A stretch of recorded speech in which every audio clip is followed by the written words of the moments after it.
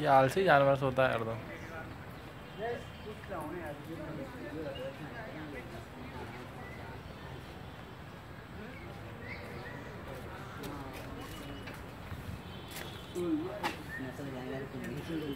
इसके मस्त हो है क्या?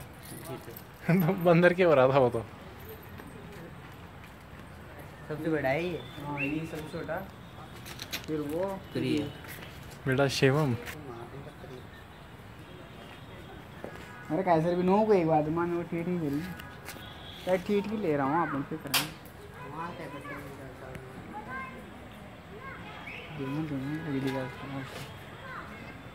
यार वीडियो मत करो यार।